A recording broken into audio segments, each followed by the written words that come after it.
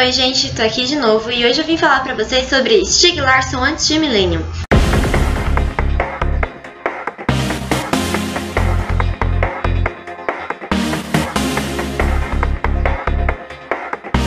Stieg Larsson, pra quem não sabe, é o autor da trilogia Millennium, Os Homens que Não Amavam as Mulheres, que eu já fiz diversos vídeos falando sobre é uma das minhas trilogias preferidas, porque tem a Lisbeth Salander, que é mais ou menos essa pessoa aqui, e ela é uma personagem muito, muito incrível. Foi a primeira série que eu vi com uma personagem feminina forte e com muito muito bem explorada. Então a, Lisbeth é a protagonista da série e, e a série é demais. Bom, é, o Stieg Larsson ele morreu muito cedo com um ataque cardíaco. Ele tinha 50 e 50 anos. É, ele nasceu em 1954 e morreu em 2004. E no ano que ele morreu, tinha acabado de lançar o primeiro livro da trilogia Millennium. Então ele morreu antes sequer de ter visto todos os livros serem lançados e o sucesso que ele ia ganhar com isso, e enfim. É, e ele tinha previsão de escrever até 10 livros sobre, mas infelizmente ele morreu antes. E, inclusive, o quarto livro que saiu ano passado, se chama Garota na Teia de Aranha, existe porque antes do Stig morrer, ele mandou para um amigo um manuscrito de como seria o quarto livro da série. E então esse livro que saiu é aquele manuscrito um pouco mudado, um pouco melhorado, finalizado, enfim, para poder chegar no público. E eu ainda não li o A Garota da Teia de Aranha, mas eu lerei em breve e venho falar para vocês. Esse livro aqui eu comprei em 2014 e eu nunca tinha lido, sei lá eu porquê. É, bom, ele conta a história do Stieg Larsson, basicamente, assim. E pelo que a gente vê, ele é um cara muito comunista e que luta, que lutou muito contra a extrema-direita sueca. Na Suécia é um país que parece legal, mas tem um problema muito grande da extrema-direita e do antissemitismo, do neonazismo e da galera querer matar uma ou outra porque não é sueco o suficiente.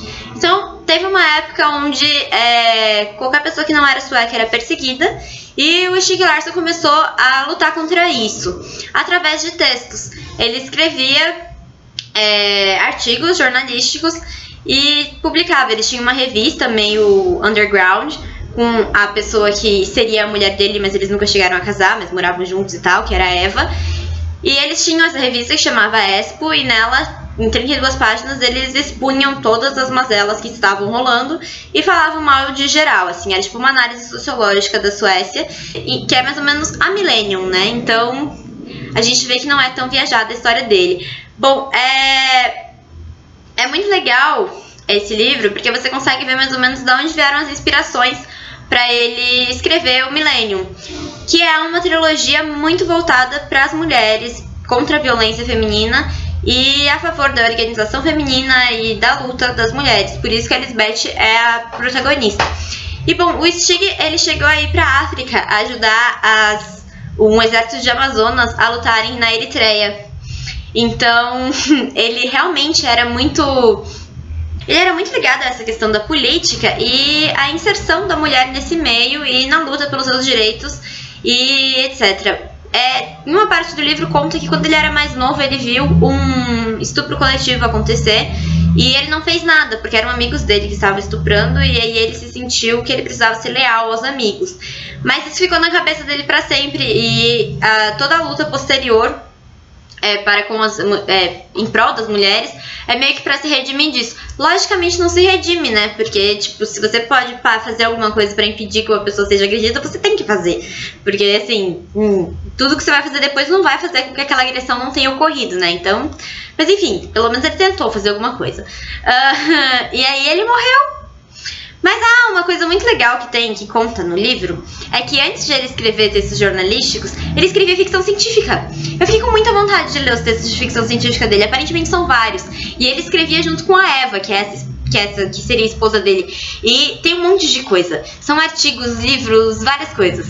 Então, eu até, tipo, tenho aqui os nomes, eu super vou procurar na internet pra eu ler, porque deve ser o máximo. Inclusive, eles trabalhavam na tradução de ficção científica pra Suécia. E isso parece muito legal também. É, parecia um casal muito legal mesmo, essa, essa Eva parece demais. Ela, eu acho que ainda tá viva, mas como eles não estavam casados no papel, ela não teve direito a nada que era dele. Embora eles já morassem juntos faz um tempão, porque é assim funciona a lei na Suécia.